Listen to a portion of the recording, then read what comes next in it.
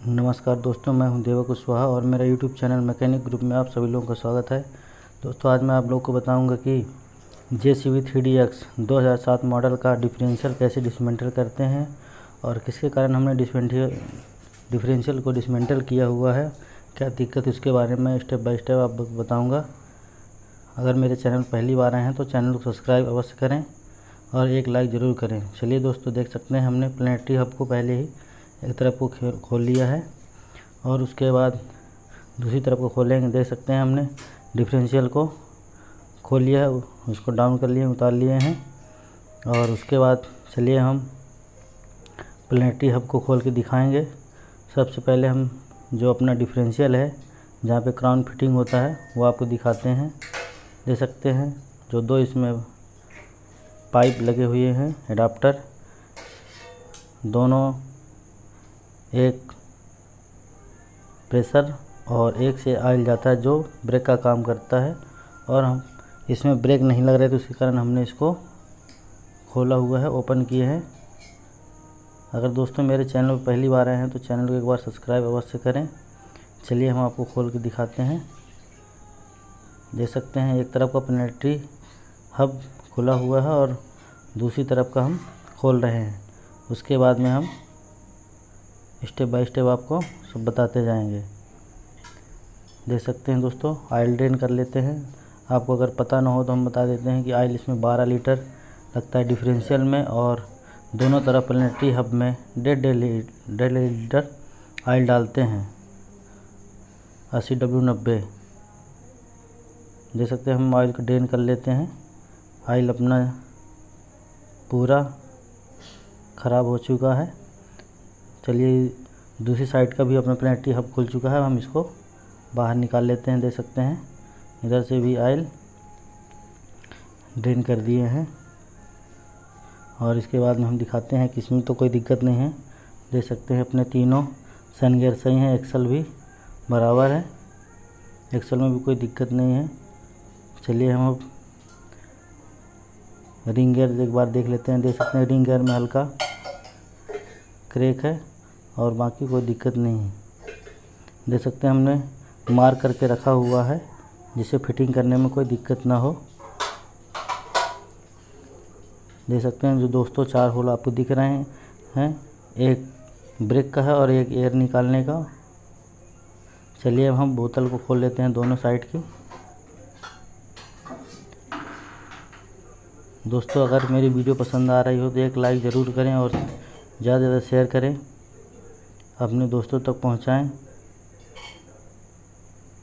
चलिए दोस्तों, हम दोनों बोतलों को खोल लेते हैं। उसके बाद में हम आपको दिखाते हैं आगे कि क्या क्या होता है इसमें और कैसे वर्क करता है। जो सकते हैं हमने, इसमें जब को फ्लंच दिख रहा है, इसमें ट्रांसमिशन की मेल आईसी लगती है।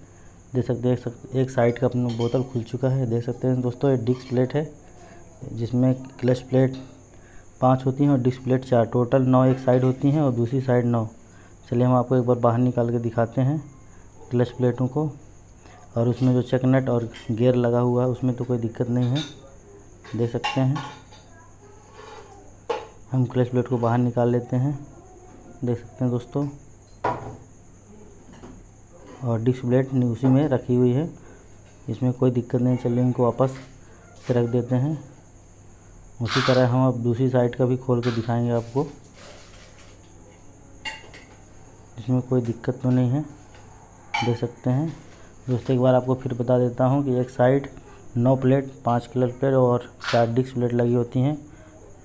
देख सकते हैं, उसी तरह दूसरी तरफ़ भी हमने खोल लिया है। ये देख सकते हैं दोस्तों, ब्रेक पिस्टन है।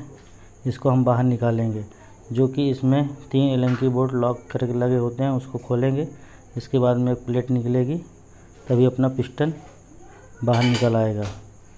दोनों साइड दो ब्रेक पिस्टन होते हैं और उनके अंदर छोटी छोटी ओरिंग होती है, इनर और आउटर। चलिए हम सबसे पहले तीनों एल की बोल्ट को खोल लेते हैं और उसके बाद दिखाएँगे किस कारण अपना ब्रेक काम नहीं कर रहा तो ब्रेक नहीं लग रहा था। देख सकते हैं, दूसरी साइड का भी हम बोतल को खोल लेते हैं। और उसमें भी देख लेंगे क्लच प्लेट और डिस्क प्लेट जो है, वो तो डैमेज नहीं हुई हैं या ख़राब तो नहीं हुई हैं। देख सकते हैं दोस्तों, हमने दूसरी साइड का भी बोतल खोल लिया है। और डिस्क प्लेट भी सही है। चलिए बाकी क्लच प्लेटों को देख लेते हैं। देख सकते हैं दोस्तों, एक क्लच प्लेट है और नीचे जो है डिस्क प्लेट। देख सकते हैं हल्का सा गियर की टीथ कटी हुई, लेकिन वो अभी चल जाएगा, उससे कोई दिक्कत नहीं है। देख सकते हैं आप लोग। दोस्तों चैनल पर अगर पहली बार हैं तो चैनल को अवश्य सब्सक्राइब करें और हमें कमेंट करके अवश्य बताएँ। देख सकते हैं दोस्तों। यहाँ पे एक लॉक बोल्ट लगा हुआ है और ब्रेक कैसे काम करता है हम उसके बारे में आपको बता देते हैं। जब ऐसे हम ये पाइप से प्रेशर जाता है तो पिस्टन अपना अंदर बाहर होता है, उसी से ब्रेक काम करता है। और ब्रेक किस लिए नहीं लग रहा था वो हम अभी दिखा रहे हैं आपको खोल के। ये प्लेट खुल जाए, उसके बाद में आपको पता चल जाएगा किसके कारण हमने डिफरेंशियल को खोला है और ब्रेक नहीं लग रहा था। हम 10 नंबर एलंकी बोल्ट आठ नंबर एलन की बोल्ट को खोल लेते हैं। इसके बाद में हम पिस्टन को बाहर निकालेंगे। और दोस्तों, इसी के अंदर क्राउन होता है, जो चकनेट आपको दिख रहा है, वो क्राउन को सेटिंग करने के लिए है और जो बैरिंग है, वो क्राउन की है। दोनों तरफ़ जब हम क्राउन को सेट करते हैं पिनियन को तो चेकनेट को अप डाउन करना पड़ता है हल्का, ऊपर नीचे टाइट करना पड़ता है। देख सकते हैं। हमने प्लेट को खोल लिया चलिए हम प्लेट को बाहर निकाल के दिखाते हैं आपको। और फिर पिस्टन को दिखाएँगे कि पिस्टन कैसे अपना जाम हो गया है और प्रेशर जाने के बाद भी ब्रेक काम नहीं करता। देख सकते हैं बेरिंग की कौन है और हमने प्लेट को खोल लिया है। जिसमें ब्रेक पिस्टन अपना ये लगा हुआ देख सकते हैं दोस्तों, ये पिस्टन को हम बाहर निकालेंगे और फिर ओरिंग दिखाएँगे कि वो रिंग कहाँ पे लगी हैं। जो कि ओरिंग पूरी तरह से सीज हो चुकी हैं, जो कि काम नहीं कर रहे इसी कारण अपना ब्रेक काम नहीं कर रहा है, ब्रेक लग नहीं रहा। चलिए दोस्तों, हम पिस्टन को निकाल देते हैं। देख सकते हैं पिस्टन अपना हल्का हल्का बाहर की तरफ़ आ रहा है।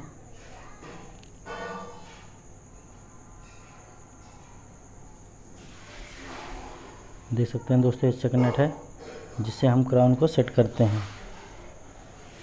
और देख सकते हैं हमने ब्रेक पिस्टन को निकाल लिया। देख सकते हैं दोस्तों, इसमें दो ओरिंग लगी हुई है। एक स्मॉल और एक बिग मतलब कि एक छोटी, एक बड़ी। दोनों ओरिंग पूरी सीज हो चुकी है, जाम। और इसमें देख सकते हैं हल्की हल्की बाबी आ चुकी है। पिस्टन अपना अप डाउन नहीं हो रहा, इसी कारण अपना ब्रेक काम नहीं कर रहा था। चलिए दोस्तों, हम अब इसी तरह दूसरी साइड का भी आपको दिखाएँगे कि दूसरी साइड में क्या दिक्कत थी। दूसरी साइड के भी हम ब्रेक पिस्टन को निकाल लेते हैं। ये देख सकते हैं ओरिंग है दोस्तों। ये ओरिंग पूरी तरह से डैमेज हो चुकी है और पिस्टन भी अपना सीज हो चुका है। इसके कारण अपना ब्रेक काम नहीं कर रहा था। दोस्तों, अगर मेरे चैनल पर पहली बार आए हैं तो चैनल को सब्सक्राइब अवश्य करें। और हमें कमेंट करके अवश्य बताएँ। देख सकते हैं दोस्तों, हमने दोनों ओरिंग को निकाल लिया है, जो पिस्टन में लगी होती है। देख सकते हैं, कॉलर बना हुआ है, जहाँ पे हमको सील ओरिंग को फिट करना है। देख सकते हैं, क्राउन को, क्राउन में कोई दिक्कत नहीं है। क्राउन अपना सही से सेट है, इसमें कोई दिक्कत नहीं है, ना कोई साउंड था। देख सकते हैं हम दूसरे साइड का भी पिस्टन को बाहर निकाल लेते हैं। देख सकते हैं दोस्तों बावरी है हल्की, जो सीज हो चुका है, इसके कारण अपना ब्रेक काम नहीं करता था। हमने दोनों साइड का खोल लिया दोस्तों, और आपको बता भी दिए हैं। मेरे चैनल पर आने के लिए आप लोग को बहुत बहुत धन्यवाद। जय हिंद, जय भारत।